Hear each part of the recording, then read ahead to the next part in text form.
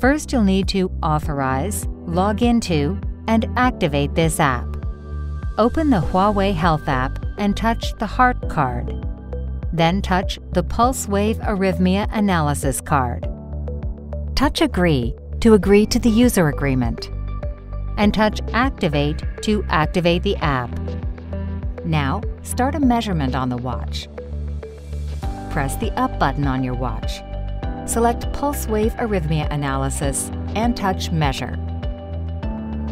During measurement, prop your arm up on a surface and relax your arm and fingers. After the measurement is complete, your watch will display the results. Touch OK and swipe up to view today's results. You can also enable automatic measurement on the watch.